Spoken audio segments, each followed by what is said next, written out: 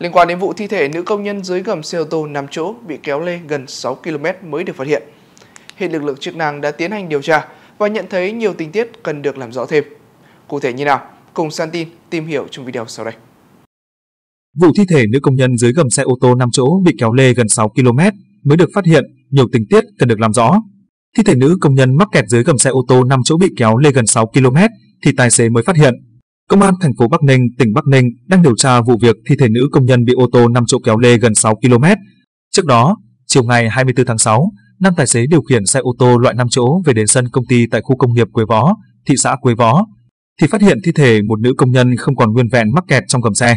Nạn nhân được xác định là nữ công nhân sinh năm 1998, quê tỉnh Thái Nguyên bị tai nạn giao thông tại km 136, đường cao tốc Hà Nội Bắc Giang, cách hiện trường phát hiện thi thể khoảng 6 km.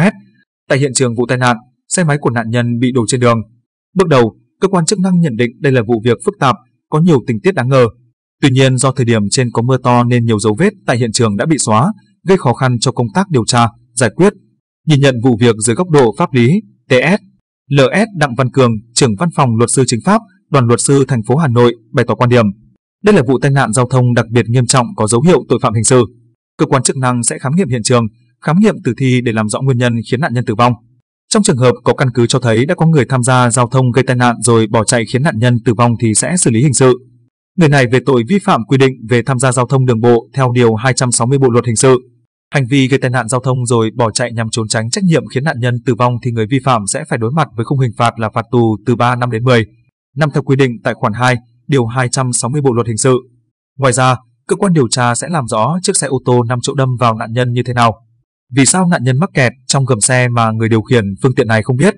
Làm rõ thời điểm khi mắc kẹt trong gầm xe thì nạn nhân đã tử vong hay chưa?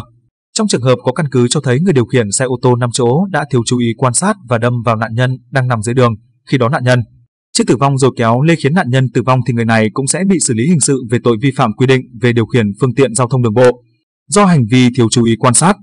Đối với người điều khiển phương tiện thì suốt quá trình tham gia giao thông phải chú ý quan sát, khi gặp những chướng ngại vật trên đường phải giảm tốc độ đến mức tối đa, có thể dừng lại. Nếu thấy hiện trường vụ án tai nạn giao thông trên đường, có nạn nhân đang nằm dưới mặt đường mà người điều khiển chiếc xe ô tô này vẫn không phát hiện ra, vẫn đi qua khiến nạn nhân mắc kẹt trong gầm xe thì đây là chuyện khá hy hữu.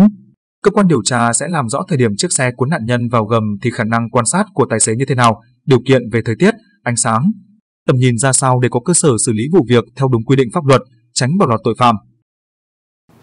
Cơ quan điều tra sẽ làm rõ thời điểm chiếc xe cuốn nạn nhân vào gầm thì khả năng quan sát của tài xế như thế nào, điều kiện về thời tiết, ánh sáng, tầm nhìn ra sao để có cơ sở xử lý vụ việc theo đúng quy định pháp luật, tránh bỏ lọt tội phạm.